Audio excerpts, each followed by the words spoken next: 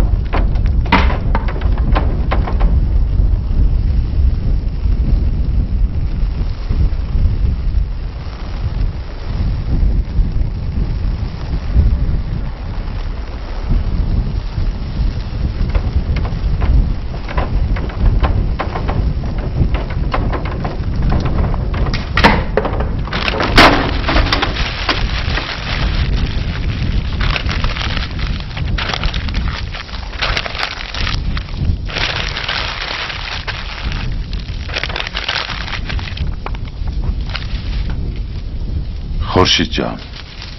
کاغذهایی برایت نوشتم.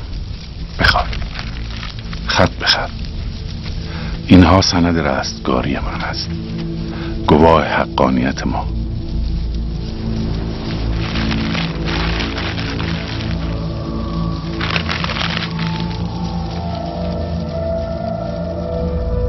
این روزها حال ایران بد است. یکی برای تخت دیگری برای بخت می جنگد می کشد کشته می شود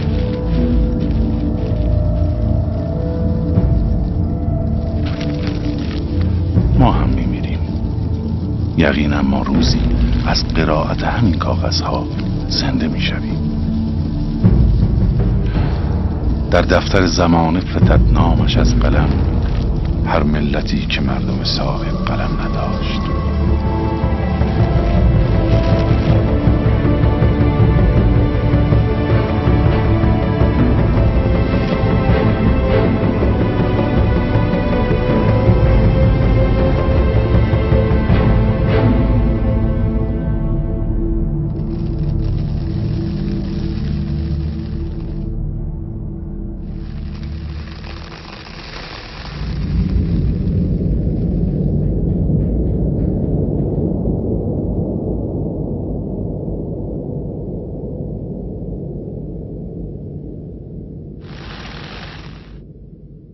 In this trip to my old country, I find myself in a beautiful alley in my town of Yazd.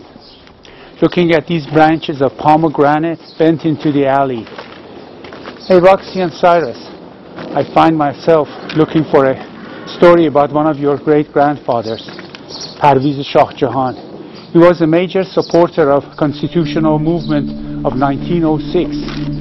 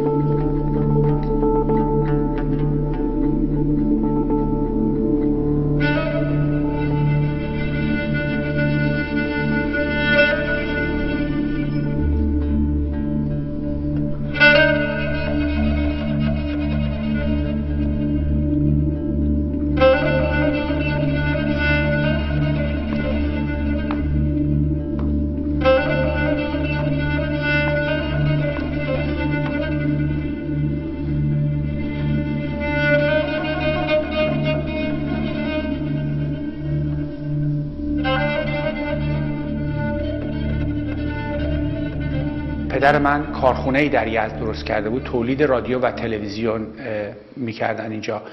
و برای اداره کردن این کارخونه ایشون در ماه چند روز به یزد می اومد و ماهای تابستون که مدرسه تعطیل بود منم با ایشون می اومدم برای منم این مسافرت جالب بود.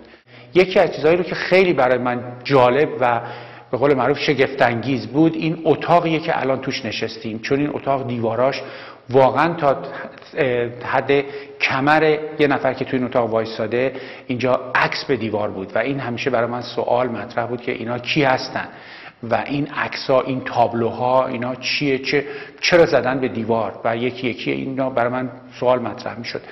چیز دیگه ای هم که برای من اینجا بود این خونه کیه که اینقدر عکس چه چه اهمیتی داشته اینجا که این همه عکس تو اتاق مهمون خونشه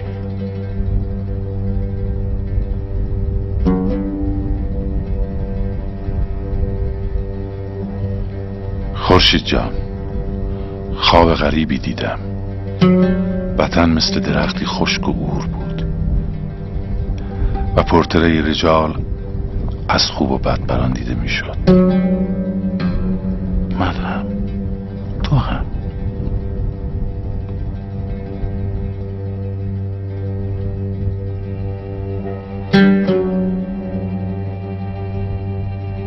راهب دنیا دیده یا آتشکده بمبئی به من گفت طالع غریبی دارم. در تقدیرم آرام و قرار مقدر نیست. چندان بیراه نگفت. این روزها که مملکت گوشت قربانی خارجی هاست قصد انجام کاری دارم که موجب سربلندی ایران است. پس از که فرزند ایران نوکر بیگانه و درخت وطن خشکیده باشد.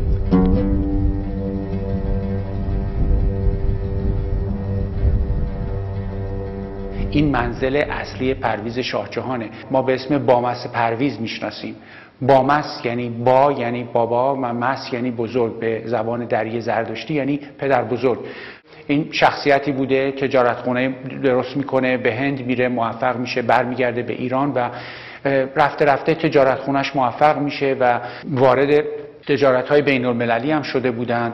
شما در اسناد تجارتی زمان قاجاریه می‌بینید تجارت صادراتی ایران فقط با 6 تا تجارتخانه انجام می شده که یکی از این تجارتخانه ها تجارتخانه جهانیان بوده. و از این بابت ها برای من خیلی واقعا منشأ غرور خانوادگی هم برای من بود که تو خانواده همچین شخصیت هایی هستن دوباره بعد از سی و چند سال که رفتم آمریکا دوباره برگشت من به ایران.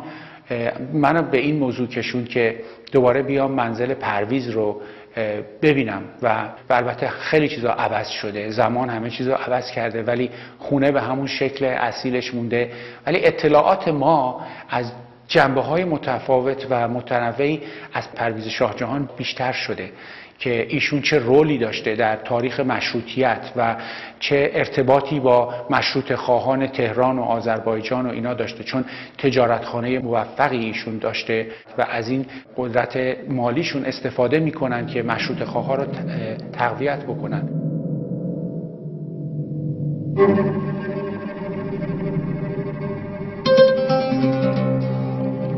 خورشید جان. این روزها جسمم در یزد به حساب و کتاب تجارتخانه است و فکرم در تهران نزد معترضان سلطنت است.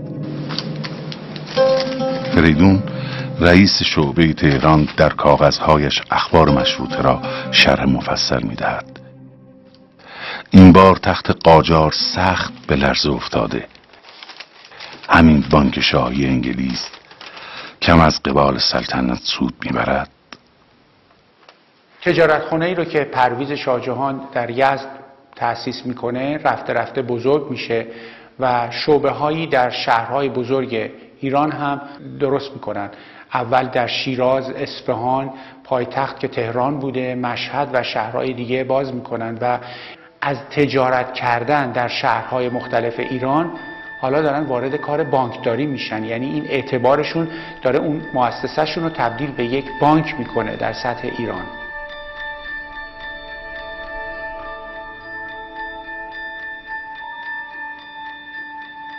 خورشید جان بعد از سالها تلاش درخت آرزوهایم سمر داد. سرانجام تأسیس بانک جهانیان اتفاق افتاد. صبح موبد آمد دعا خواندیم. جمع کثیری از تجار یزد هم آمده بودند. برخی تجار تهران و شیراز و اصفهان زرتشتیان گجرات و پارسیان بمبئی تلگرافن عرض تبریک گفتند. آثار خورسندی در همه پیداست. حقیقتا از بیم تأسیس بانک ایرانی خواب از چشم خارجی ها رفته بود.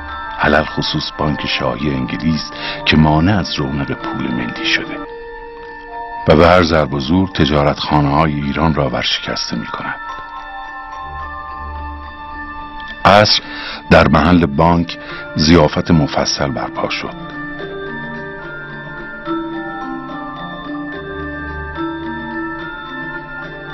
جلال الدول زل سلطان حاکمی است به همراه صدرالعلمای پیشکار که از قضا هر دو سالانه شش هزار تومان از بانک شاهی نقد می‌برند سرزده به مجلس زیافت آمدند.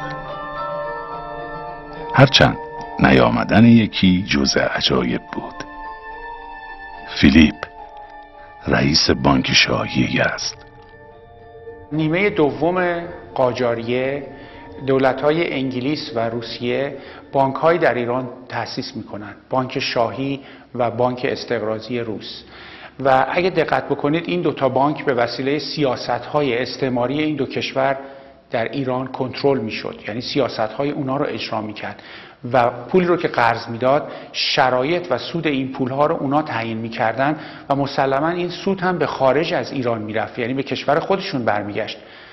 و این باعث فقر و باعث کنترل کامل بازارهای سرمایه در ایران می‌شد در اون زمان. و تجارتخانه جهانیان که صحبت می‌کنیم کارش رفته رفته از تجارت به بانکداری هم تبدیل میشه. یعنی اگه یک شخصی در یزد یک پولی به این شعبه تجارتخانه می‌داده رسید می‌گرفته این بیجک رو می‌تونسته به تهران بره و تحویل بده و همون مقدار پول رو از تجارتخانه تهران تحویل بگیره.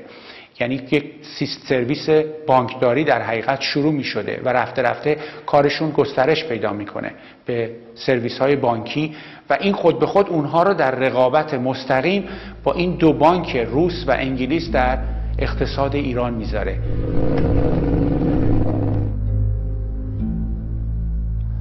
از بازاریان شنیدم رویتر رئیس کل بانک شاهی برای سرکشی به یزد آمده. ظهر به تجارتخانه آمد. به تصور خودش پیشنهاد معقولی داشت. اینکه بانک جهانیان تحت حمایت بانک شاهی عمل کند. نپذیرفتم. بانک جهانیان به مزفر دین شاه پیشنهاد 400 هزار تومن وام می‌کنند. با این شرط که مزفر دین شاه این وام رو که احتیاج داشته برای دولت خودش از بانک استقرازی روس و بانک شاهی انگلیس نگیره.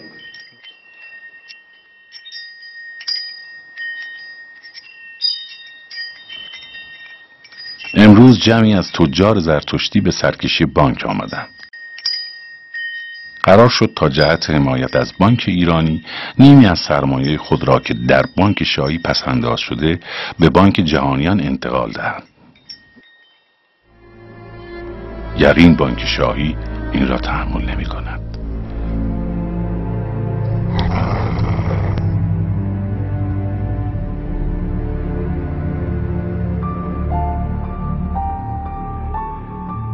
فیلیپ رئیس بانک شاهی یزد سرزده آمد.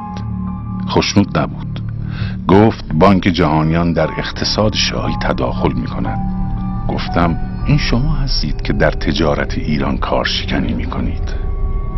وقت آن شده که ما برای خود بانک مستقل داشته باشیم. گفت این به صلاح شما و ملت نیست. عواقبی دارد. بانک های روس و انگلیس مخصوصا بانک شاهی انگلیس برای اینکه رقابت این بانک رو با خودش از بین ببره یک طرحی برای ورشکست کردن اینها برقرار می‌کنه. به این ترتیب که ادهی رو میفرستاده در یک شعبه مثلا در شعبه یزد که اینان فرض کنید پنجاه نفر نفری دو تومن پول به این شعبه بدن و بیجک بگیرن. با این پنجاه بیجک به تهران می اومدن در شعبه تهران در یک زمان می‌رفتن که این پول رو نقد کنن یعنی این پنجاه نفر. مسلما در یک آن بانک نمی‌تونسته یا اون شعبه تجاری نمی‌تونسته همه پول نقد رو تحویل بده و اون شعبه رو به هم میریختن یا اموال شعبه رو غارت می‌کردن یا آتش می‌زدن. این فعالیت سیاسی انگلیس بوده که بتونن بانک خودشون رو برقرار بکنن با از بین بردن تجارتخانه و بانک جهانیان.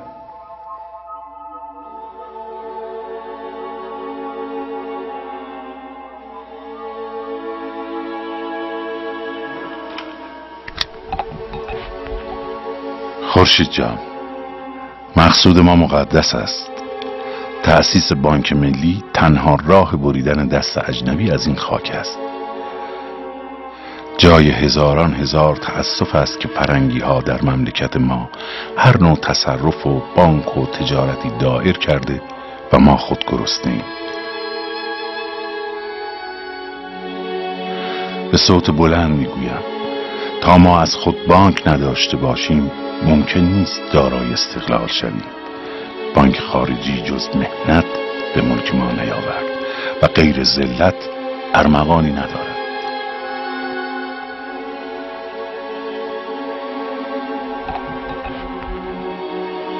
باغ پریشان و سر کاخ پریشان ملک پریشان تخت و تاج پریشان. شاه بیمار و اتبا از او دست شستن. خیلی هم در شاه جدید محمد علی میرزا نمی بینم آثار دشمنی با مشروطه در او پیداست. هرچند که برای حفظ مشروطه قرآن را قسم خورده.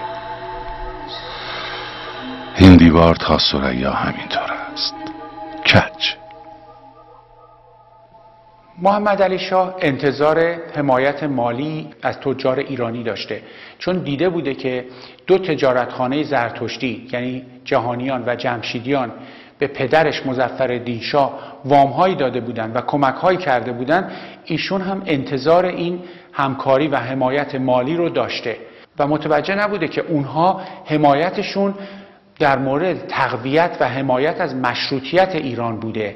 نه حمایت از پدر ایشون مزفر شاه. و برای همین وقتی متوجه این موضوع میشه خصومت رو شروع می‌کنه.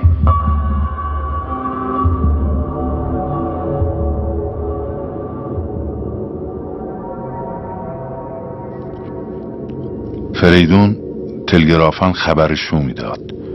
محمد علی شاه فرمان بر ابطال مشروط داده است. با یک دست خط هم مجلس را به توپ بست. مشروط خواهان یا به زنجیرند یا بردار. ایران ساکت نخواهد ماند. شاه به قسم قرآن پابندی نکرد.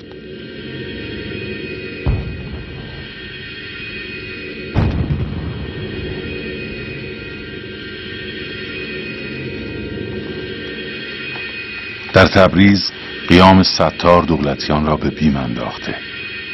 به فریدون سفارش کردم تا از هیچ کمکی مزایقه نکند. دست او در پرداخت وجب باز است. جنگ با سلطنت قاجار جنگ با روس و انگلیس است.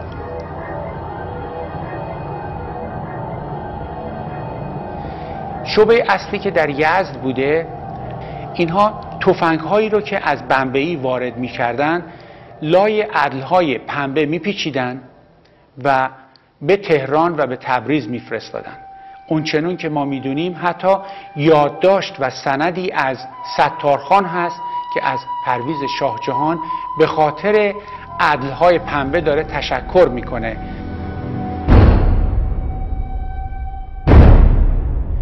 و خود به خود وقتی که انگلیس ها لابد با جاسوس هایی که داشتن از این عمل تجارتخانه جهانیان و پرویز شاه جهان پی می‌برند اینو به عرض محمد علی شاه که با مشروط خواه مخالف بوده و سر دشمنی داشته اینو به اون خبر میدن.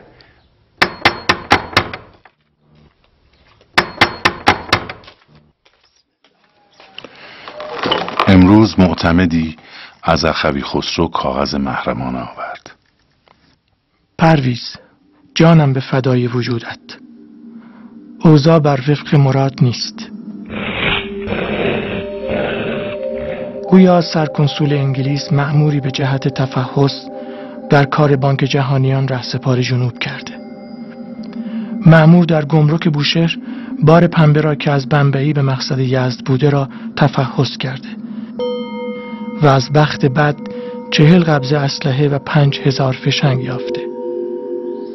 یقین پی بردند که مقصد نهایی سلاحها مجاهدین تبریز است. برادر جان. بهانه به دشمن بدخواه دادیم.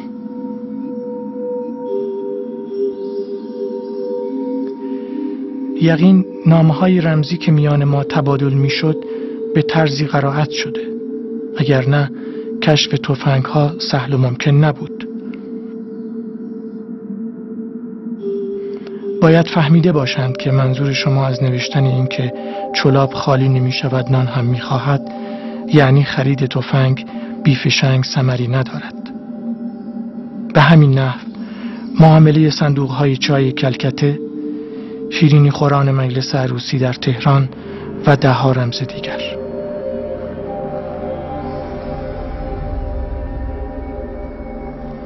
توصیه دارم که چندی از انظار پنهان باشید.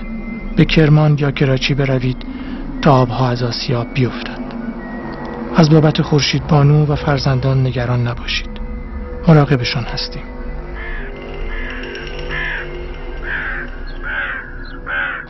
امروز چند نفر از دارالحکومه برای استنتاق آمدند. سوال بسیار پرسیدند. گفتند فیلیپ رئیس بانک شاهی به دارالحکومه راپورت فرستاده که مردم یزد سلاح خود را برای یاری اشرار تبریز به تو می سپارند.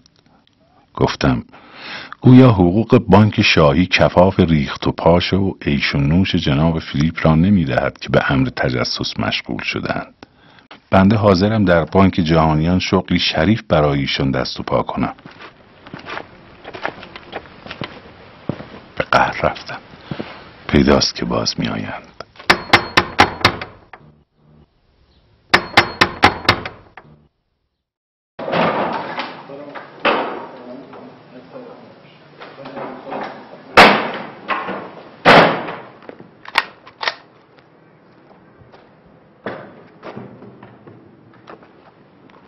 محمد علی شاه دستور میده که یک کاروان کالای جهانیان رو که به تهران می اومده بیستونن و بگردن.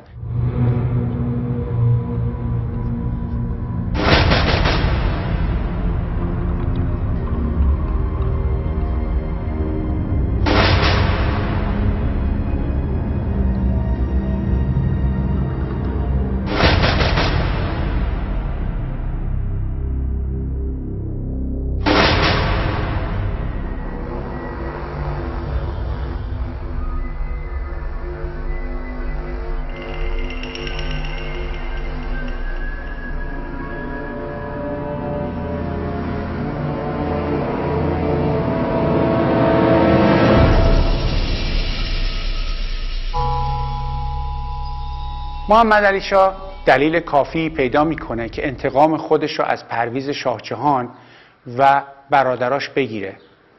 از اونجا به یکی از اوباش تهران به اسم سنی حضرت که ایشون به قول معروف پول می‌گرفته و آدم میکشته و شلوغ می‌کرده و محلش هم در توپخانه بوده. شخصیت شناخته شده ای بوده. در اینجور کارها دستور میده که برو کار پرویز شاهجهان رو تمام کن.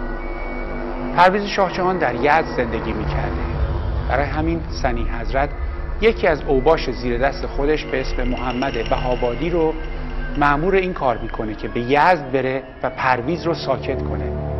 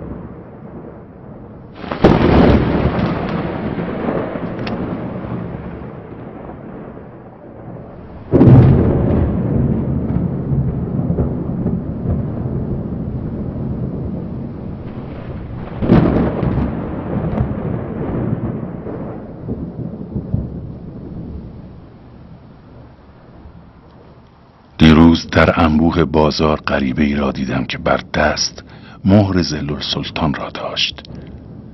در چشم به هم زدنی گم گور شد. خدا می‌داند جواز قتل کدام آزاده ای را گرفته بود.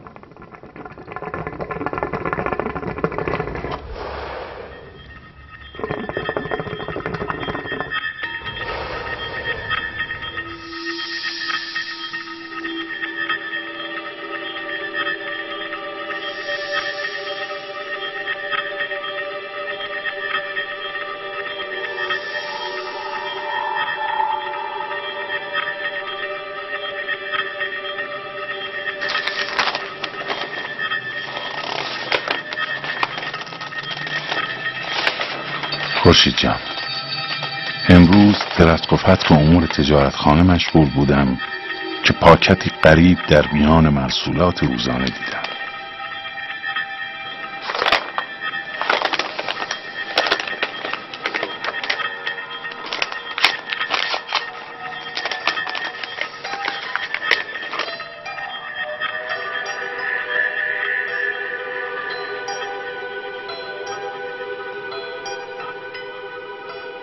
محمد بهابادی چند روزی به کمین میشینه و مسیر رفت و آمد پرویز شاهجهان از بازار یزد به این خونه رو کاملا شناسایی می‌کنه که موقعیت خوبی رو برای ترور ایشون تشخیص بده. و از طرفی شبنامه هایی هم به این خونه انداخته شده بوده در اون روزها که پرویز با دیدن این شبنامه ها احساس خطری که برای جون خودش در راه بوده رو تشخیص میده.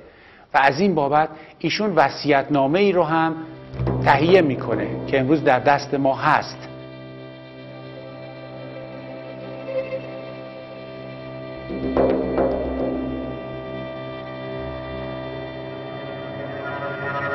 به این ترتیب پرویز جمشید که فرزند اولش بوده معمور می‌کنه که این نامه رو اجرا بکنه که میگه چطور از خانواده نگهداری بکن نگهداری از همسر خودش خورشید دخترش مروارید و کارهای خیری رو هم از ایشون می‌خواد که انجام بده مثل ساختن مدرسه درمانگاه و یا مسافرخانهایی که بعدا ساخته میشه.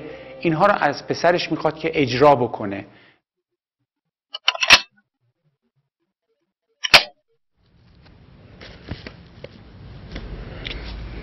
در یکی از این روزها محمد بهابادی در کوچه ای که منتهی می‌شد به منزل پرویز شاه جهان به کمین میشینه که نیت خودش رو اجرا بکنه.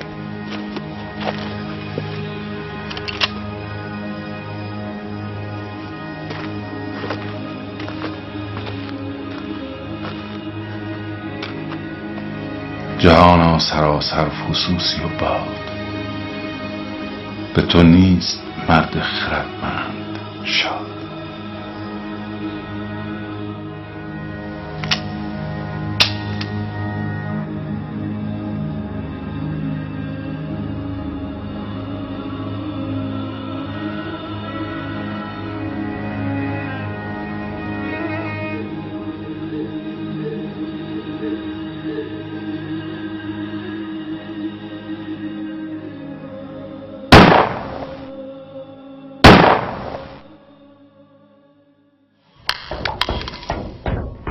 صدای تیری رو از پشت سر میشنوند ولی پرویز شاهجهان فرصتی نمی‌کنه چون تیر دومی از پشت سر به ایشون اصابت می‌کنه و به زمین میفته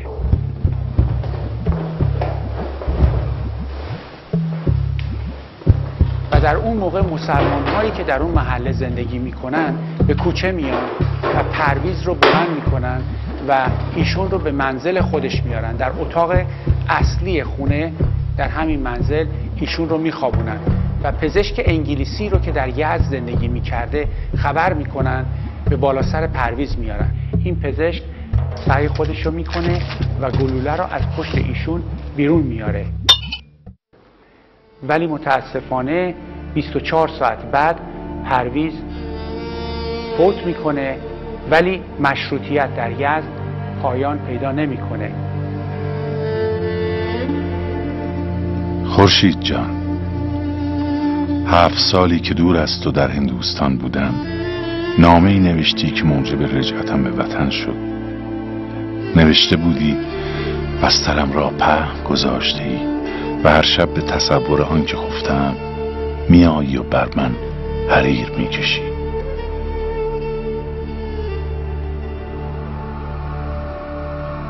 دیگر وقت وداست به دوست و آشنا توصیه کن که پرویز بار زمین مانده را به شما سپرد. دیدار به قیامت.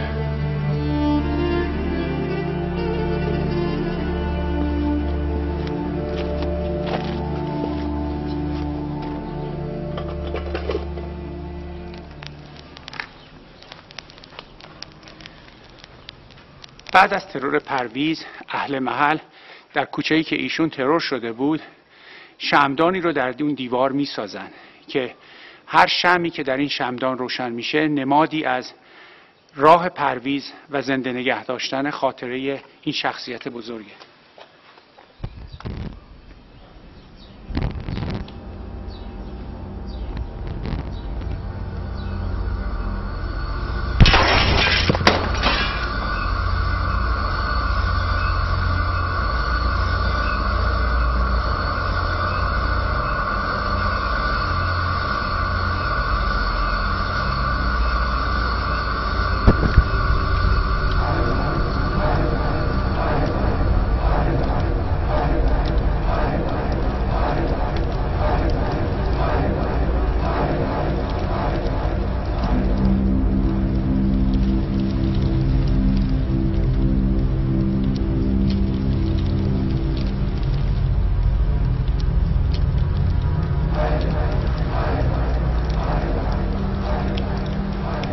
با کشته شدن پرویز مشروطیت در یزد متوقف نمیشه.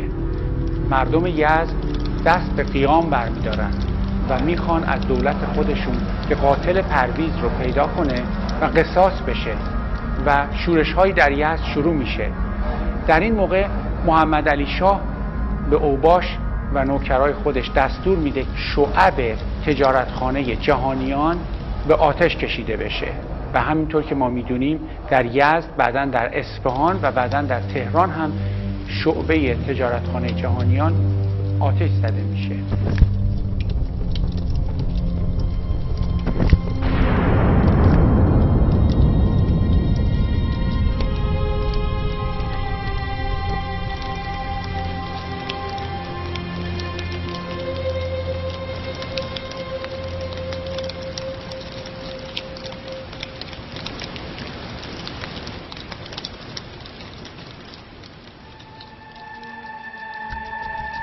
خسرو برادر دوم به تهران میاد و به دربار محمد علی شاه میره و از محمد علی شاه می‌خواد که قاتل برادرش رو پیدا بکنه.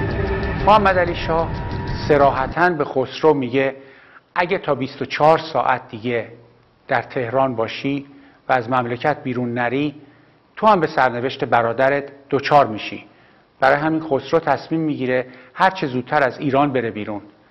و ایشون برای خارج شدن از ایران وقتی از یزد رد می شده به نزد حاکم یزد زل سلطان میره بهشون پیشنهاد می‌کنه که من دو هزار تومن به شما میدم که پول خیلی زیادی بوده که قاتل برادر منو پیدا بکنی زل سلطان هم جواب میده که ای کاش تو اون دو هزار تومن رو می‌دادی که برادرتو نکشیم.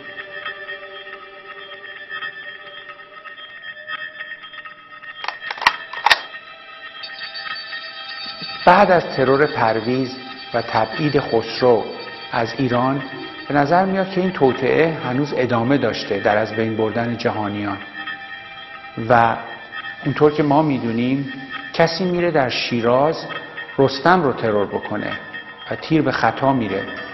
و روایتی هم داریم که برنامه‌ای بوده که بهرام رو ترور بکنن. ولی از همه بزرگتر ترور فریدون خسرو رئیس تجارتخانه جهانیان در تهران هست که روایت کامل اون در دست ما هست و ثبت شده.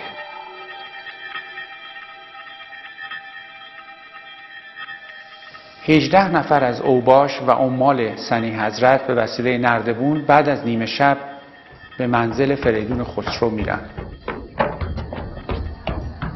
همسر ایشون سرور خانم متوجه میشه که برنامه چیه و وقتی می‌خواستن شوهرش رو بکشن بلند میشه و این دشنه رو تو هوا با دست می‌گیره. و اونطوری که من خودم یادم میاد در سنین دبیرستان بودم که سرور خانم که در سنین پیری بود ازشون پرسیدم که همچین روایتی رو شنیدم و ایشون دست راستش رو به من نشون داد و بریدگی بزرگی رو که هنوز می‌تونستیم در دست راست ایشون ببینیم کاملا مشاهده می‌شد. ایشون چهار ماه حامله بود که شوهرش رو جلوی چشمش به قتل می‌رسید Wow.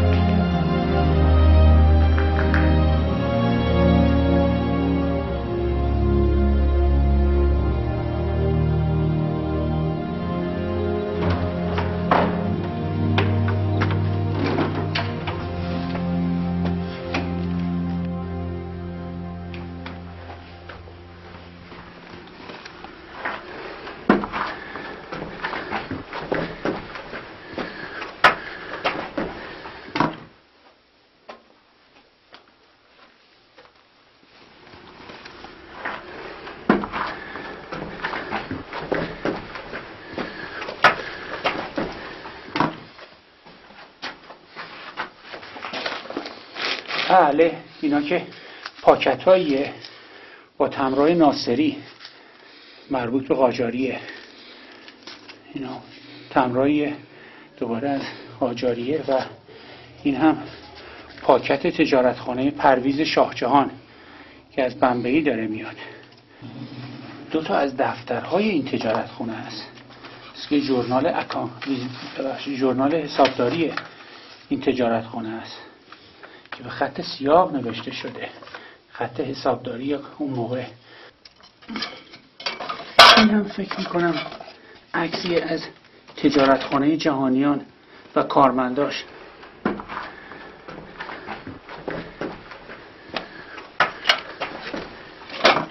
این هم عکسیه دوباره از خانواده جهانیان.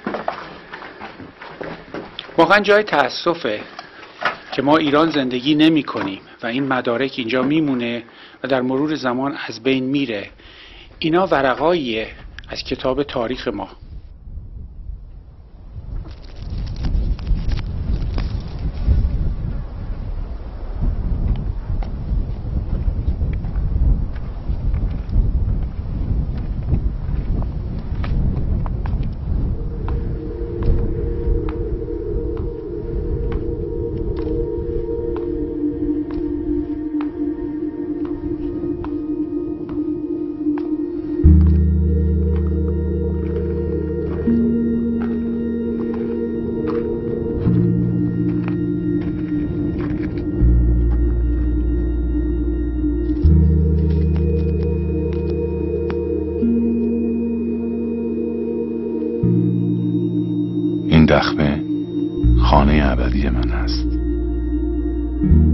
باشد که او را مزدا مرا ببخشاید و درهای رحمتش را بر من گشاید.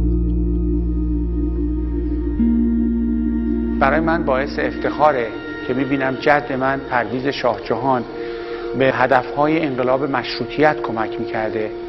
پرویز با وجود اینکه می‌دونسته جونش در خطره این قدم ها رو بر می که انقلاب مشروطیت به سمر برسه و جونش رو در این راه از دست میده.